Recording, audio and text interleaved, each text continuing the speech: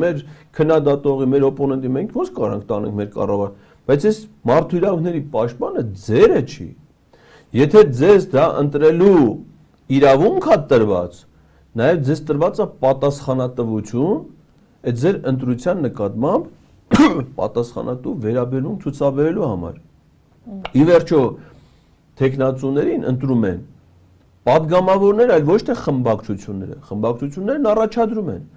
Փակ գախնի քվեարկությունն է եւ այս համանդրության падգամավորը առաջնորդվում է հրամայական մանդատով իր սեփական խղճով եւ համոզմունքներով։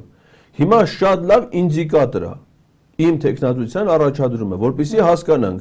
քաղաքացիական պայմանագիր խմբակցությունում սեփական խիղճ,